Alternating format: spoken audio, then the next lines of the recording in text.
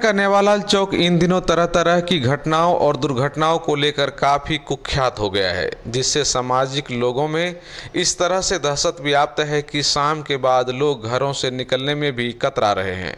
यहाँ चोरी, लूट, डकैती, सड़क दुर्घटना, गोली फायरिंग, रंगदारी एवं शराबियों का तांडव आम बात है। स्थानीय लोगों के मुताबिक इस चौक के आसपास कुछ न कुछ होते रहना आम बात हो गई है, जिससे आम आदमी और व्यवसायी सबसे ज़्यादा प्रभावित हो रहे हैं। और पुलिस से जब शिकायत की जाती है तो केवल जाँच पड़ताल कर कार्रवाई का भरोसा मिलता है। किंतु सख्त कार्रवाई नहीं होने के कारण घटनाएँ रुकने का नाम नहीं ले रही है।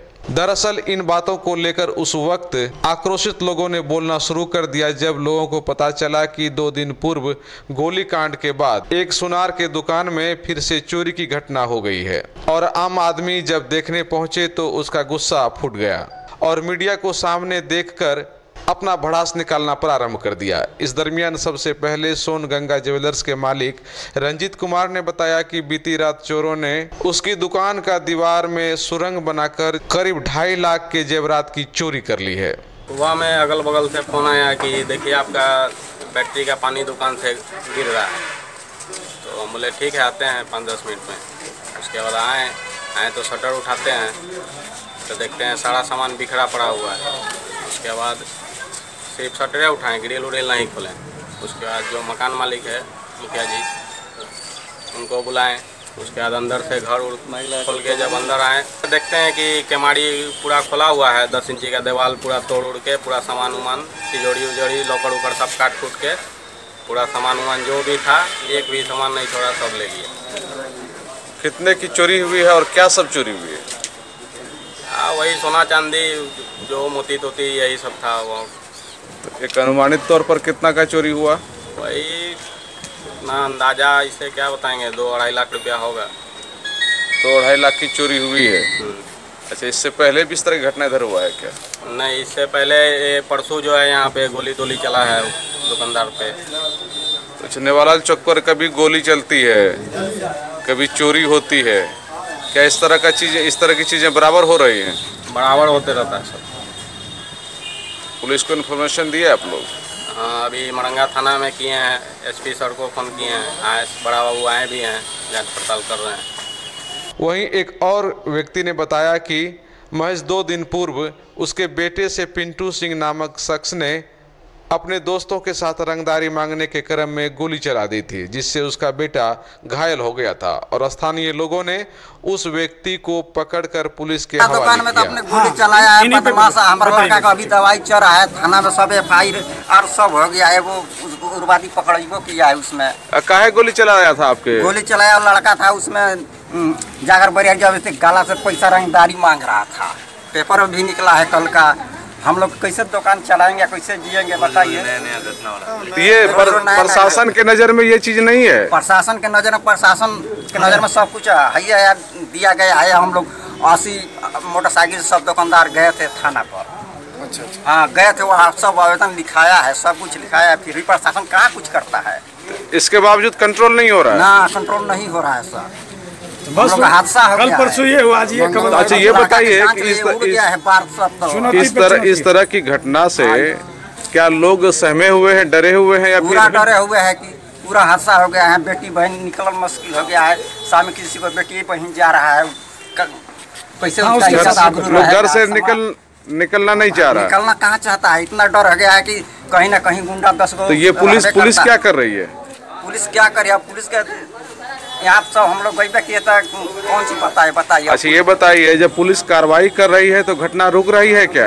नहीं। अभी घटना कहाँ रुके बढ़ता जा रहा है या रुका हुआ इसके है लिए चैलेंज बढ़ता जा रहा है अभी बढ़- रुक रहा है?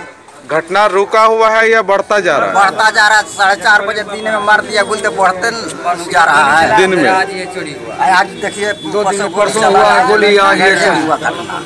पहले भी इस तरह से कुछ ना कुछ होते रहता है क्या? हाँ होते रहता है कि और, क्या? और पह- पहले भी इस तरह से कुछ हुआ है?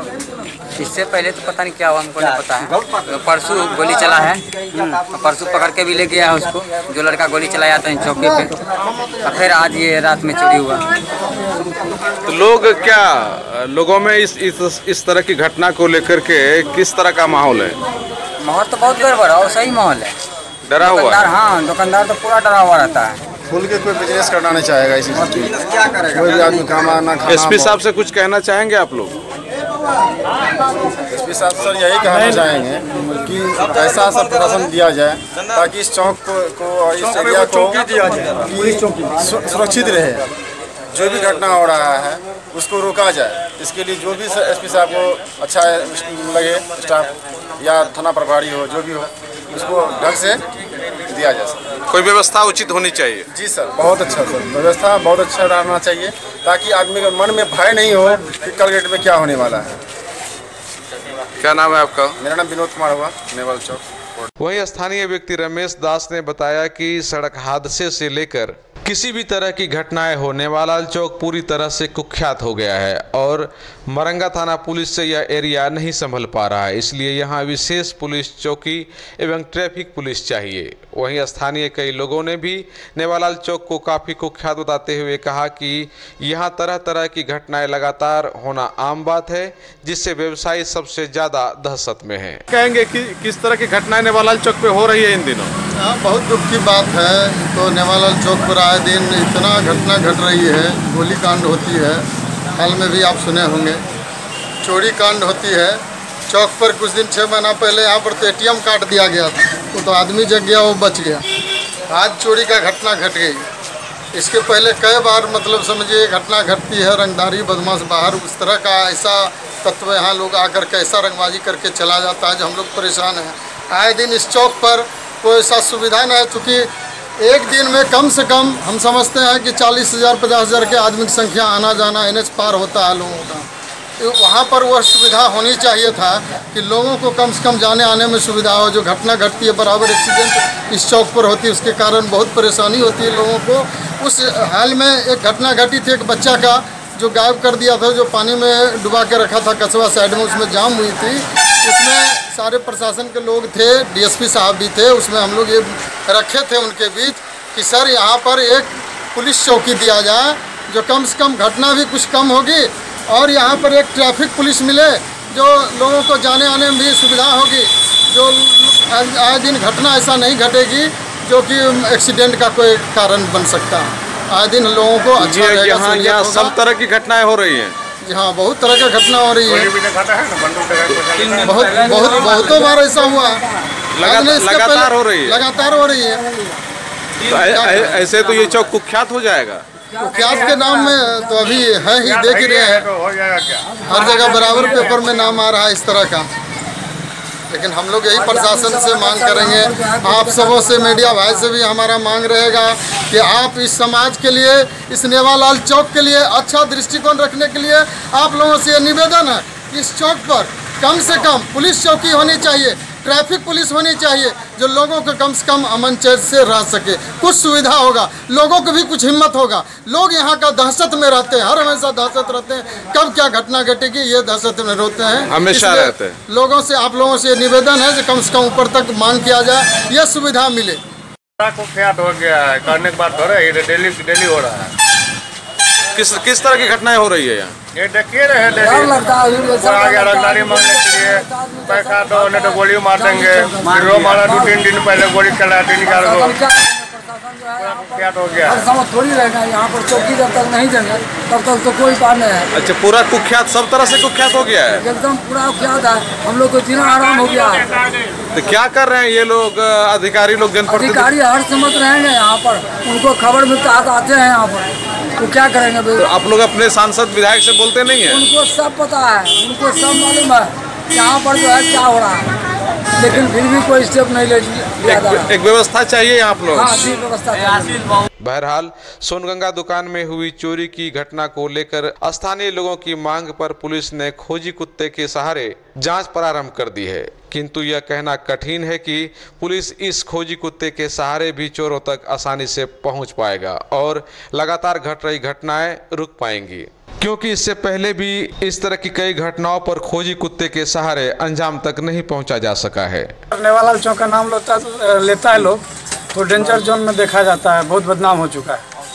जो कि यहाँ के रहने वाले सही आदमी भी हैं, वो भी मतलब उनका भी शर्म से कहीं अगर बात होती है तो उनका भी शर्म से सर झुक जाता है कि हम लोग कहाँ आके बस गए। ऐसा दस साल, बारह साल कबल पहले नहीं था।